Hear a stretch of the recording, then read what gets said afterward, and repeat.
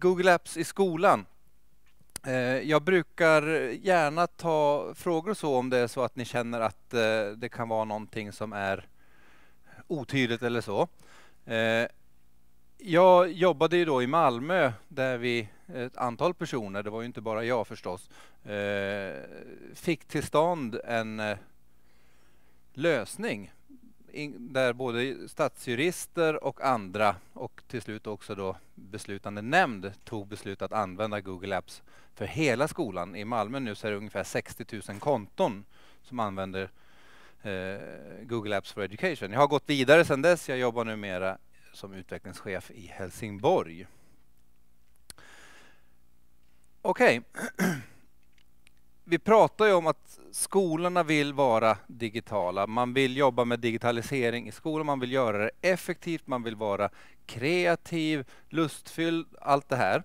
Eh, så då har vi de här pedagogiska behoven att, nå, att komma ut, att använda någonting effektivt. De pedagogiska behoven framförallt i lärarledet är ju ganska så talande. Oavsett om ni har avtal eller inte i era kommuner så kommer ju era pedagoger att använda verktyget. Eh, att se åt pedagogerna att inte använda verktyget, det är att se åt dem att eh, lägg lägga ner mer arbetstid på det du skulle kunna gjort effektivare. Eh, så det är väldigt svårt som skolledare till exempel att säga använd någonting annat. Det är ungefär som att säga, som våra IT, IT-ansvariga för nätet i Malmö sa, ja men se åt eleverna att stänga av mobilerna när det blir för trångt på nätet. Det håller inte det argumentet. Lärarna kommer att använda det. För att använda Google Apps i det här fallet då så finns ett antal tekniska lösningar. Jag kommer vara väldigt kort på den punkten kan jag säga. Sen för att få ihop det här då, så måste det till en hel del juridiska tolkningar. Det finns ju ingen sanning. Jag tror att Annette sa någonting i den stilen. Det finns ingen sanning. Det finns massor av olika tolkningar av vad en sanning kan vara och det är bara i den respektive huvudmannens ögon, så att säga, den enskilda kommunala skolan eller styrelsen, som någon typ av sanningsliknande situation kan uppstå. En tolkning för det här sammanhanget. Jag kommer gå in på det.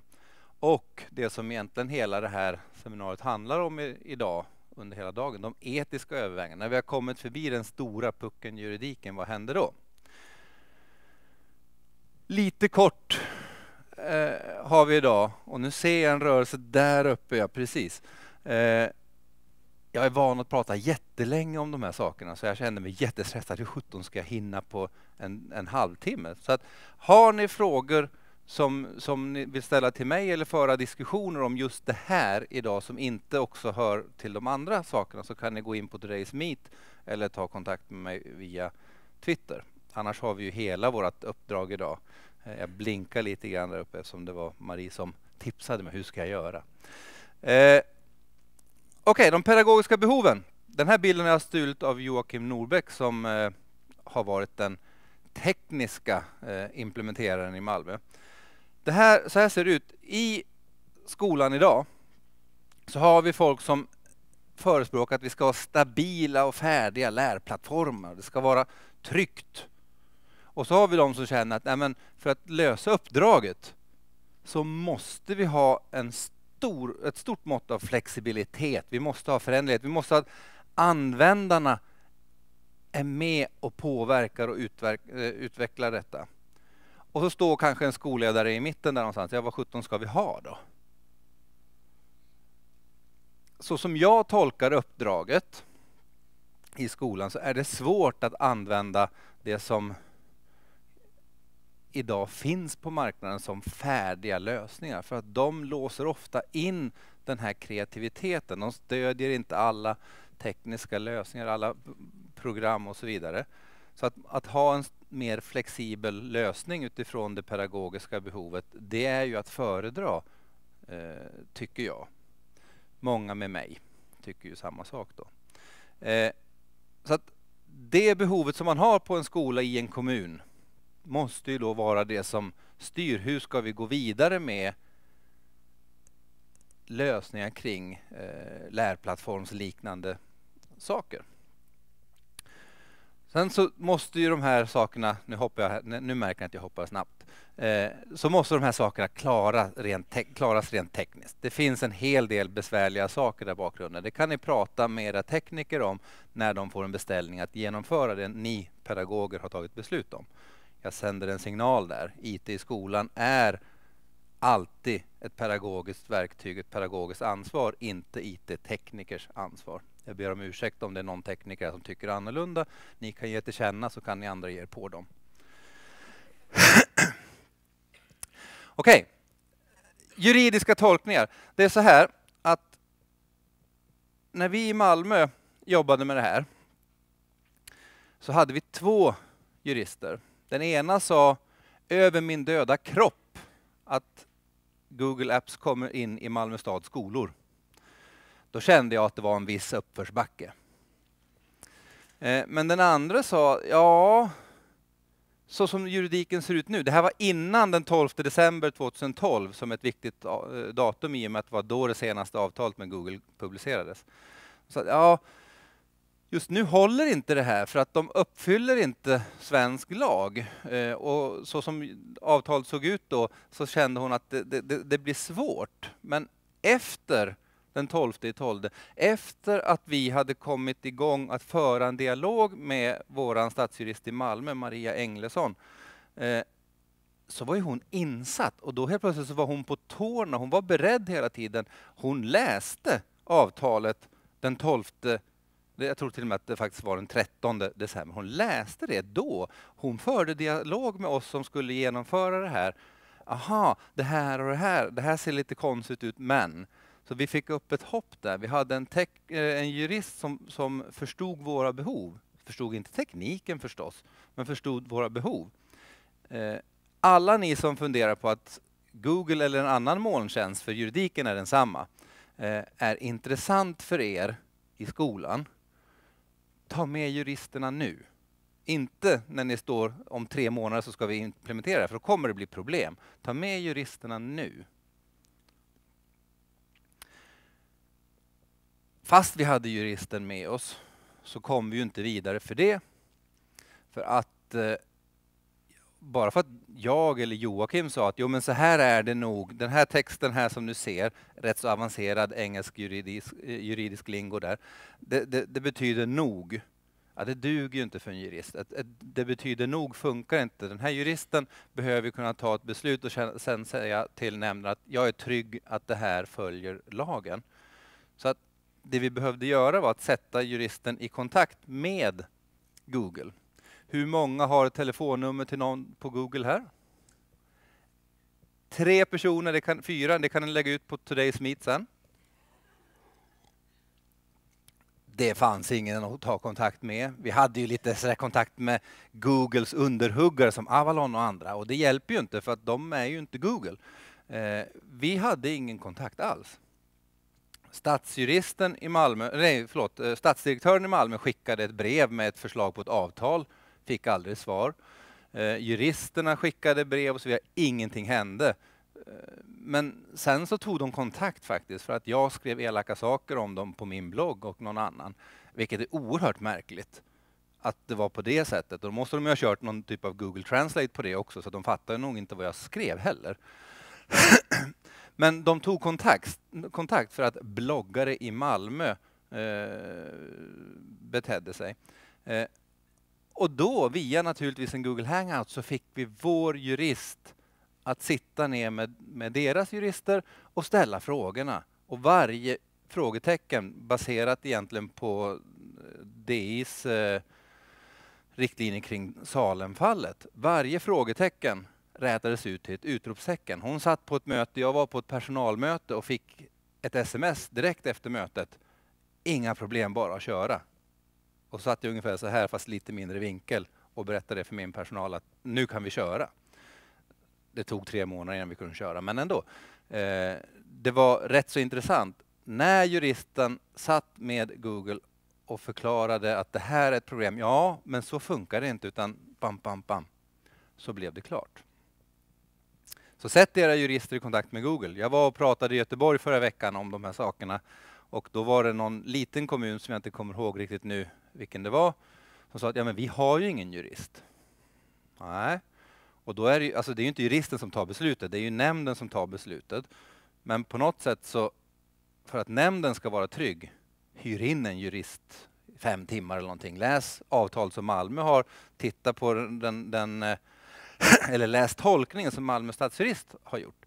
Eh, och sätt in det i kontexten den här lilla kommunen och rekommendera för nämnden att jo, men så här tolkar det hela. Men att köra helt juristfritt, det skulle jag faktiskt inte våga göra efter de här. Det tog oss tre år att genomföra detta, så att det, jag skulle inte kört juristfritt. Det skulle jag inte göra. Eh, det största problemet för juristerna har varit att de inte förstår tekniken.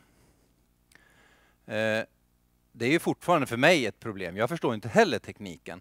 Till exempel när man ska radera ett dokument. Vad händer då? Jo, man kan inte bara ta det här dokumentet ur en perm och kasta eller så vidare. Utan det här dokumentet är uppdelat på kanske 20, 30, 40 servrar runt om i hela världen. Hur 17 händer då när man ska radera någonting? För att förstå processen att radera så måste man förstå teknik och det är ju besvärligt. De har lagt ner fem år på att plugga till jurister. Eh, därför så är det rätt så viktigt att man har mycket samtal för att förklara tekniken och så vidare. Jag har suttit med på de här samtalen, jag fattar fortfarande inte tekniken. Det har inte varit fokus för mig. Pedagogiken har ju naturligtvis varit det för mig. Men Joakim Norbeck i Malmö har ju varit lysande på det och det finns säkert ute i era kommuner också de som faktiskt kan teknik på ett sätt som de kan förklara för juristerna. För att det har varit väldigt svårt att komma vidare om man inte förstår. Om vi tittar, nu kommer en värdering, jag ber om ursäkt för det, men om man tittar på det som Datainspektionen skriver kring Salem bland annat, så är det uppenbart att de inte fullt ut förstår tekniken. Eh, och det är ju synd, i och med att de ska råda alla oss. Eh, så det är jätteviktigt att, eh, att man faktiskt förstår Okej, de juridiska invändningarna mot Google Apps for Education då, det, det GAFE, det brukar man ju använda numera det är nästan allmänbildning, men om ni inte kom, vet det så är det Google Apps for Education. Märk väl, Google Apps for Education är ju någonting fundamentalt annorlunda än era privata Gmail-konton. Era privata Gmail-konton, ja det är de som man kan använda för att sen ta reklam med era privata foton och sånt där. Google Apps for Education har ju ett avtal, en avtalstext, om ni har läst den. Det brukar ju vara smått om man bockar bara förbi. Men om man har läst det så kommer man säga att då är det huvudmannen som äger personuppgifterna och Google är bara en, eh, ett biträde för att hantera dem och så vidare. Ska man använda Google Apps for Education så måste man precisera till vad? Vad ska man göra? Hur, hur ska man behandla personuppgifterna? Eh, Anette pratade om det här med eh, kön och sexuell läggning och ditt och datt. Ja, men det, det, har vi väldigt sällan, väldigt sällan i våra skolregister. Eh, vi kan ju se det på personnumret, inte den sexuella läggningen tror jag, men eh, eh könet i alla fall. Och så vidare. Men syftet med att vi har de här uppgifterna är ju då för att man ska kunna skapa konton där eleverna har tillgång till de här verktygen. Det måste tydliggöras väldigt tydligt att det är ett pedagogiskt syfte. Det är inget administrativt syfte. Google Apps for Education är en education-del, en, en utbildning, en pedagogisk del. Separera det fullständigt mot allt det här administrativa. För där är juridiken extremt mycket svårare, det administrativa. Så ändamålet, precisera ändamålet. Nu kommer ju som sagt var Johan och skol eller SKL ut med den här checklistan som, som min stadsjurist, hör på att säga, det är inte min stadsjurist, Helsingborgs stadsjurist eh, sa eh, härligt, vad bra. Vilket fick mig att känna att det kanske kommer gå fortare än tre år i Helsingborg. Eh, tittar jag lite grann upp mot någon helsingborgare och ser om hon tror det också. Jag vet inte. Vi får se. Folk är lite oroliga att jag ska springa och vända upp och ner på allting där. Eh, se till att det här avtalet, standardavtalet, när vi bockar i, att det är i enlighet med svensk lag. Eh, och då skulle det varit jättebra om det var skrivet efter svensk lag, men det är det ju inte. Google bryr sig ju egentligen inte om Sverige. Google bryr sig ju definitivt inte om Malmö eller Stockholm eller någonting sånt. De bryr sig ju möjligtvis om EU. Det är tillräckligt stort för att Google ska bry sig. Så det är ju med det i åtanke som man har skrivit. Så då står bland annat i avtalet ungefär att eh, avtalet, eller att Google förbinder sig att följa eh, det undertecknande landets lagar, inte Sveriges lagar, utan landet. Och då bör man ju förstå att landet, när vi är här, det är Sverige. Men det står inte så. Så då kommer återigen en tolkning. Är det tillräckligt skarpt skrivet? Den ena satsjuristen sa över min döda kropp. Den andra sa oh, det här köper vi. Och den andra hade ansvaret. Den här första, hon har ansvar för sådana saker som åtgärdsprogram och så. Tror att lärarna i Malmö får följa liksom mallar noggrant. Rätt så. Standardavtalet enligt svensk lag, även om det står på ett generellare plan. Redovisning av underleverantörer, alltså personuppgiftsbiträdesavtalet. För om Google är ett biträde så är ju deras underleverantör också ett biträde. Det här var det största problemet en period. Vilket, när jag tänkte så här, okej, okay, Googles underleverantör, hur många tusen är de? Alltså jag blev alldeles så här, och hur ska man lyckas, alltså ska man ha avtal med dem? Men så visar det att det är fyra. Sen finns det en massa städfirmor och sånt, men de behandlar ju inte personuppgifterna. Utan det är fyra företag som behandlar personuppgifterna. Och de måste ju också ha avtal som överensstämmer så här. Va? Så, att, eh, så att de inte har frikort sen att göra precis vad de vill eh, med uppgifterna. Google har ju bland annat då via det här systemet Google Apps for Education skrivit att vi ska inte behandla det här materialet, uppgifterna, till något som är i kommersiell, eh, kommersiellt syfte. Till exempel sälja reklamplats eller spara era surfvanor för att sedan rikta någonting direkt. Det här är ju då enligt Google själv något altruistiskt och eh, det de gör för att de tycker att utbildning är viktigt och att de vill öka digitaliseringen. Det i sin tur i och för sig gynnar ju Google också. Eh, så redovisning av underleverantörer och de måste också följa då. Redovisning av säkerhetsåtgärder, det vill säga de åtgärder som jag i min kommun ska göra. Jag kommer till det senare. Det är egentligen det som allt det här som vi är här och pratar om idag handlar om. Eh, elevernas integritet till exempel, elevernas säkerhet. Redovisa hur ska vi göra det? Och den här arkivering som vi skrivit, radering av data. Inte arkiv egentligen, för det är inte ett problem i sig. Men radering av data, det är den sista starka invändningen som Datainspektionen har. Eh, och där har också Google och Salem gått, eh, gått till tingsrätten, säga, någon typ av rättslig instans eh, för att eh, räta ut frågetecknen. För där menar Google och Salem att Datainspektionen har fel rent tekniskt. Det här är de juridiska invändningarna i stort. Det kan finnas andra i era kommuner, men om vi tittar på Salem, om vi tittar på vilka frågor ställde stadsjuristen i Malmö, så var det dessa bitarna. Är det någon som har några frågor så här långt? Knäpptyst. Mm. Ja. Det, kan jag. det var två som smattrade direkt. Här. Eh, finns det en god redovisning över underleverantörerna i Google standardavtal? Ja. Klicka på länkarna så kommer du se alla fyra. På en sån här liten bit av sidan. Alltså avtalet som Google har så, om än att de inte är enkla att tolka så är de rätt så tydliga. Eh, det står jättetydligt, vi kommer inte hantera upp, liksom personuppgifterna till någonting annat än det ni vill att vi ska göra. Det är ju en bra skrivelse.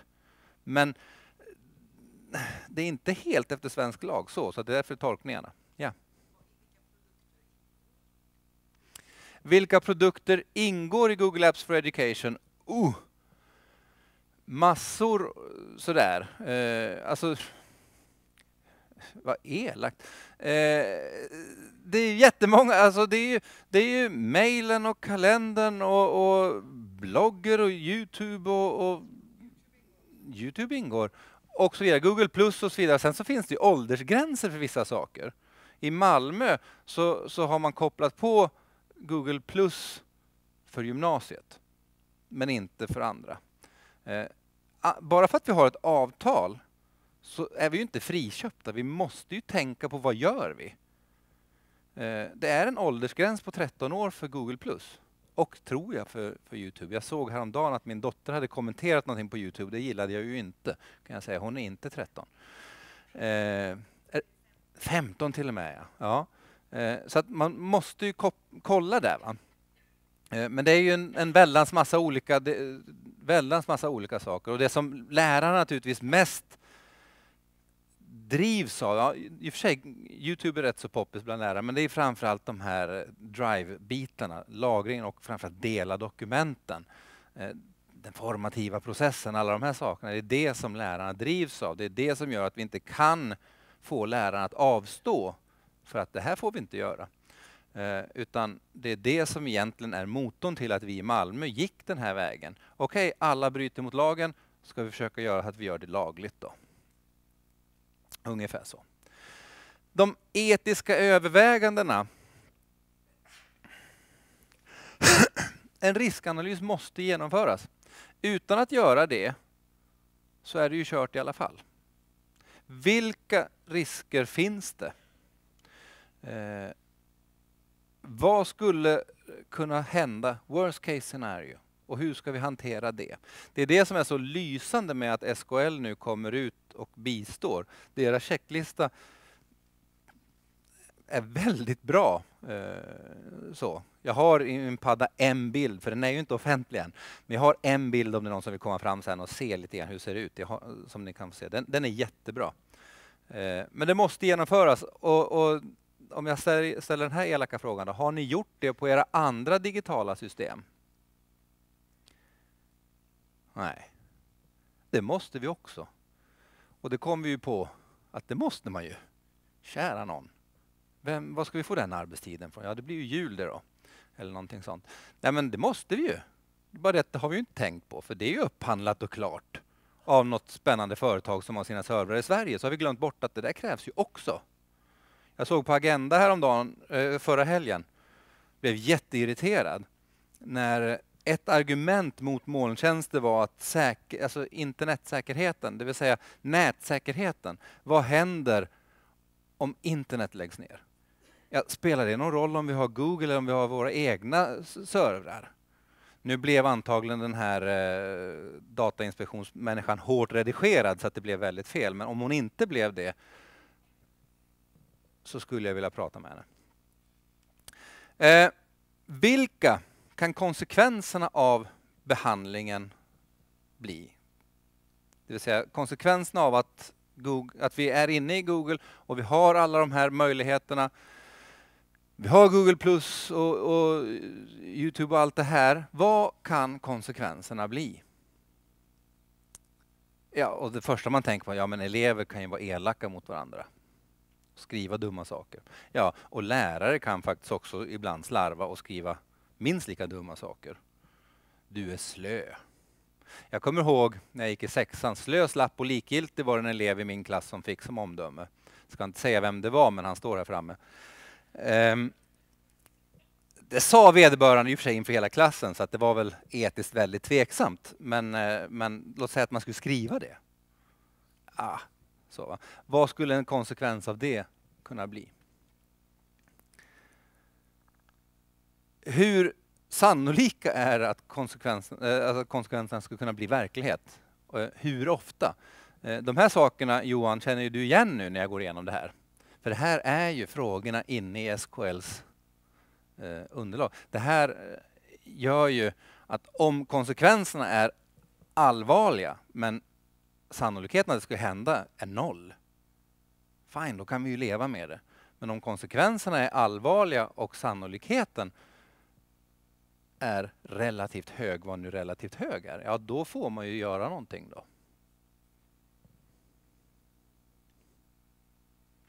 Och sen det som är kanske det viktigaste av allt, tycker jag. Nu fastnar den där, där så. Eh, är ju att få personalen att använda verktygen på rätt sätt. Eh, bara för att man har det här, bara för att det är ett slutet system, eh, ett intranät, eh, så betyder det ju inte att man kan som lärare göra vad som helst. Man kan inte lägga upp vilken information som helst. Man kan inte, om en elev är, har, har skyddad identitet, identitet, så kan man inte filma ett moment i klassrummet och lägga ut på Youtube. För att eleven har ju fortfarande skyddad identitet även om det är lärarkontot. Eh, så att man måste utbilda vad kan vi använda det till? Eh, och den första riktlinjen är ju i grund och botten följande. Pedagogisk verksamhet. Sätt det där. Till exempel i Google Apps for Education. Allt som är administrativt ska inte ligga där. Jag märker att jag tittar på dig här hela tiden för att jag känner igen dig. Eh, allt som är administrativt, det ska vara inom lås och bom. Eh, det var någon som faktiskt frågade, ja men det vore ju jättebra om vi kunde ha alla åtgärdsprogram och alla elevhälsans dokument. Så, oh, oh. så nej, det ska ju vara i de här jätte besvärliga systemen som man ska logga in 18 gånger i för att komma åt. För att där finns det väldigt eh, känsliga uppgifter. Men lektionsplaneringarna och responsen på ett, eh, en, en, en text om, om hinduism och så vidare, det, ja, visst. Men personalen måste veta vad som får ligga där och hur kan vi jobba med verktygen. Pedagogik och administration. Jätteviktigt. Det tar ganska mycket tid och sen så är ju då i den här konsekvens, eh, konsekvensanalysen eller riskanalysen, ja, lärare kanske missköter det här. Ja, det gör de ju. Någon, någonstans. Kanske till och med utvecklingschefer och rektorer också. Och då måste man ju se hur frekvent skulle i så fall någon göra det och vems är ansvaret? Vad ska vi göra? Ja, om ans ansvaret, det, det är inte så konstigt. Det, det ligger ju på, när det gäller lärarens arbete så är det ju rektor som ansvarar, men när det gäller de här bitarna så är det nämnden eller i en friskola styrelsen. Eh, så att på något sätt så kommer vi inte undan ansvaret även när vi använder verktygen. Vi måste alltså granska, precis som vi gör väl i våra skolors Facebook-konton, Twitter-konton och så vidare. Om det är någon som skriver någonting dumt eh, så tar vi bort de kommentarerna. Om en lärare inte riktigt är professionell, ja men då så ber vi läraren ta bort alternativt så ser vi till att vi tar bort det ändå. Men vi jobbar med läraren i så fall. Om elever skriver dumheter på sin peer-to-peer -peer i en upp, uppgift, ja men där ska ju finnas ett vakande öga. Hej. Några frågor här och nu? Yes?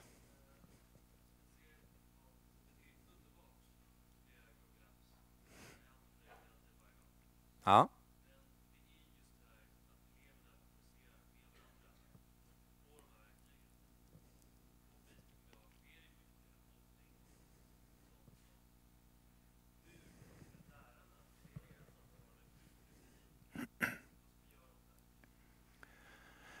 Eh, vad ska vi göra åt mobbning på nätet, fick jag som fråga. Kan man säga så?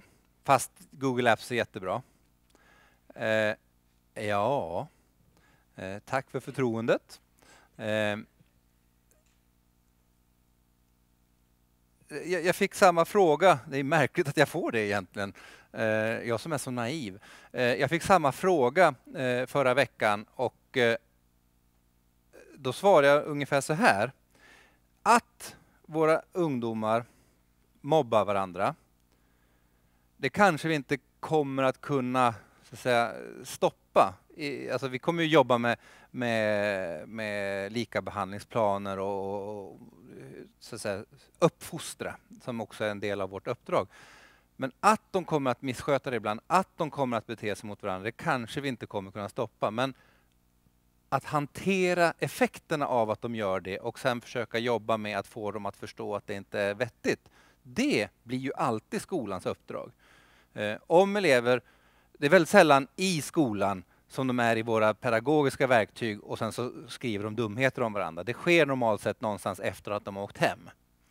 Men effekten av det får vi i skolan och då måste vi ju jobba med det. Vi kan liksom inte som någon föreslog förra veckan strunta i det. Det händer ju utanför skolan.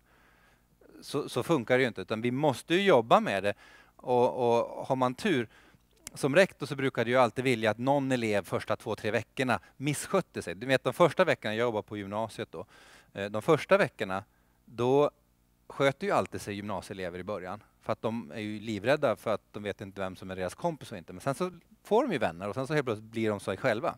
Och då är det någon som missköter sig. Då hoppas man alltid att någon missköter sig lite och så överreagerar man som rektor.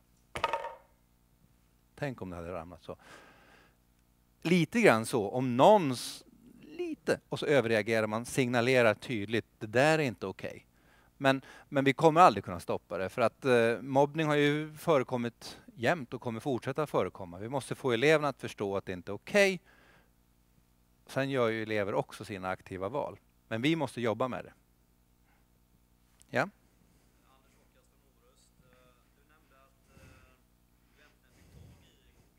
Ja.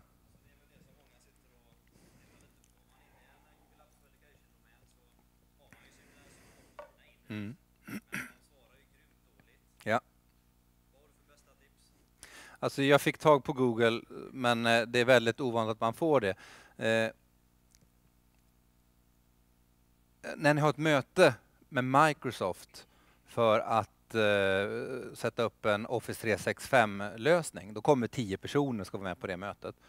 Eh, de är jätteenkla att ha kontakt med. Man ringer så åker man och har ett möte. Eh, Google, de finns nästan inte. Det är som en skugga, ett spöke. Eh, men de har förstått att det är det som är det stora problemet i Sverige. Jag träffade Ross, ja vad nu han heter, Mejan i, i förra veckan. Och han sa att det här måste vi åtgärda. Om än att de inte kommer kunna vara i fysiska möten så kommer de tillgängliggöra sig själva för att vara med på digitala möten. Eh, jag fick till och med ett visitkort från Google från honom. Så att jag har en mail rakt in till honom. Eh, så kanske inte han svarar, det är ju en annan femma. Men, men det, det, var det stora problemet, men Google, eller är kanske också, men Google förstår det nu och eh, hävdar att eh, det är någonting som de aktivt ska åtgärda så att de är mer tillgängliga. Kanske inte för dig och mig, men för våra jurister, vilket är det viktigaste. Eh, men det är ett jätteproblem och eh, det finns ett antal, nu var det några stycken här faktiskt som, som också hade en lina in och det finns ett antal kommuner som faktiskt har kontakten. Har vi, ja, jag vet att vi har Umeå till exempel här. Eh, ni har ju en direktkontakt till Google. Eller sa att ni hade det i alla fall. Ja, nu får ni stå upp för det. Eh, och i, i sann delakultur kommer Umeå att förmedla kontakten vidare. Det var varit 200 personer här. Eh, grattis. Men, ja, ja, och då, då ska vi på honom. Nej, men det är jätteviktigt för att hade vi inte fått den här kontakten, eh, och, och, det ska ni veta, det var fullt medvetet, om någon som har följt min gamla rektorsblogg, då, det var fullt medvetet det jag skrev. Jag skrev spetsigt och tydligt, väldigt medvetet för att försöka på något sätt få, få ett livstecken ifrån dem. Det var till och med beställning från projektledaren att jag skulle skriva så där elakt. Eh, tror jag alltså inte att det är min personlighet. Eh, och, och de tog kontakt men nu så är det ju fler och fler. Jag tror att det är närmare 100 kommuner som står i, i kö för att faktiskt sätta igång detta och då måste det till. Men det gör ju ingenting om Orust jurist och, och Stockholms jurist, fast det kommer nog aldrig hända, eh, och så vidare, att de har ett möte tillsammans med Google. Det spelar ju ingen roll, så länge frågorna blir besvarade. Eh, så att, eh, jag tror att det kommer bli bättring, men jag, jag har inte sett det än.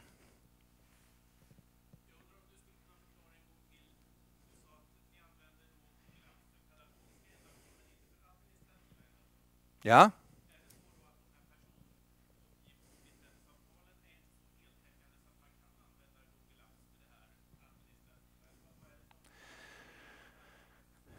Ja, det är säkerheten eh, framför allt. Ja.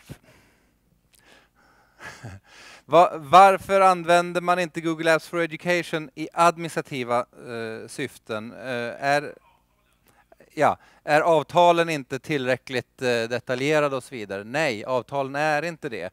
Det finns ett annat avtal som, eller ett annat system Ja, jag, jag låter det kalla det för avtal nu, men det är inte ett avtal. Ett annat, alltså Google Apps for Education har vi här. Det är samma avtal som ligger bakom Google Enterprise. Det, det är så att säga system, kanske vi ska säga istället, som man använder i Salem. Och Google Enterprise, ja där har man helt plötsligt de administrativa bitarna med också. Eh, de var ju också på agenda här om veckan och satt, de hade ekonomistyrning och allting där inne. Eh, jag ser inte riktigt att Datainspektionen jublar åt det. Eh, jag tror att det blir klart mycket mer besvärligt. För då kommer det ganska så många andra parametrar in. Eh, så att jag tycker inte alls att man ska... Jag tycker att man ska vara jätteglad när man får ett pedagoglösning på plats. Och sen så när någon lyckas groundbreaka på någonting annat, ja men då kan man titta på det, är det någonting jag vill? Jag skulle aldrig någonsin vilja stoppa in eh, elevhälsobitar i en sån här sak. Det, det, det känns instinktivt fel med, med så att säga dela lösningar på elevhälsa och sådana saker. Det som lika instinktivt känns rätt rent pedagogiskt känns fel administrativt. Samtidigt läser jag den här Jonas eh, Söderströms jävla skitsystem så att man börjar ju fundera. Eh, den kan jag rekommendera. Man blir irriterad varje gång man läser den. Eh, fler frågor?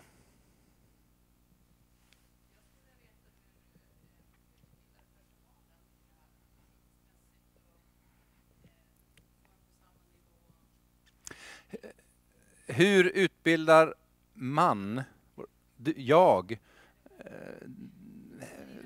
hur utbildas personalen i, i, i det här? Ja, eh, i Malmö så gjorde vi på två olika sätt. Dels så hade vi pilotskolorna som i princip fick ett lycka till. Eh, men det var självpåtaget. Och sen så alla andra skolorna som fick en, jag ska inte säga att all personal fick, utan nyckelpersoner på skolorna fick en förhållandevis rejäl utbildning eh, i, i systemen. Eh, med den uttalade tanken att de sen ska gå tillbaks in i sin verksamhet och utbilda sin personal. Eh, på min skola då, hela vägen till att jag slutade, eh, så utbildade vi jättemycket. Men skolan har ju det problemet att eh, när kan vi utbilda? Ja, men i, i juni kan vi utbilda två och en halv månads ledigt och sen lycka till i augusti. Folk har ju glömt bort allting igen. Så vi utbildade i juni och så gjorde vi samma sak i augusti och sen så hade vi ett antal resurser. IT-pedagoger, bibliotekarier, inte minst i, Mal i min skola så, så var det bibliotekarierna, de med informationskompetensen, som faktiskt skapade systemet också, skapade vårt intranät. Eh, så ett antal resurser. Vi, vi satte in tjänstefördelningen på en hel del, en per arbetslag faktiskt, som fick ett extra ansvar nu i införselperioden så att säga. Eh, för att Google är ju då väldigt bra, men så pass bra att det är intuitivt i alla delar, det är det inte. Man måste utbilda, man måste utbilda mycket. Eh, sen måste man också, för alla rektorer, ställa krav på, på lärarna att använda också. För annars kommer de ju glömma bort det. Ni vet när man utbildat i Excel en gång om året och samma person kommer på samma utbildning och aldrig lär sig. För att de använder det en gång om året. Jag är inte elak och, och, och gnäller på dem, utan de använder det en gång om året i betygsstatistik, sen lär de sig inte mer. Och så får man göra om det. Det här är ett internet, ett pedagogiskt verktyg. Kräv att användaren ska använda det.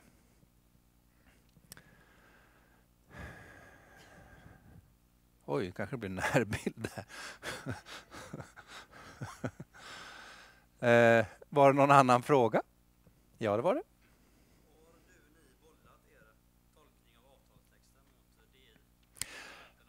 Har du, ni bollat texten, avtalstexten med DI? Avtalstexten är ju standardavtalet, så att, vår tolkning av. Eh, ja och nej. Eh, jag har pratat rätt många gånger med Datainspektionen kring, kring hur vi ser på det hela. Men de har inte tagit helhets... De har inte gjort en granskning av Malmö. Eh, och, och, skulle de göra det så funderar jag lite grann på under hur det skulle gå. Eh, men jag har ju slutat. Eh, men, men jag tror att det är som så att eh, i grund och botten så skulle de säga att ja, men det här ser rätt bra ut, men ni måste göra en ännu bättre risk och konsekvensanalys.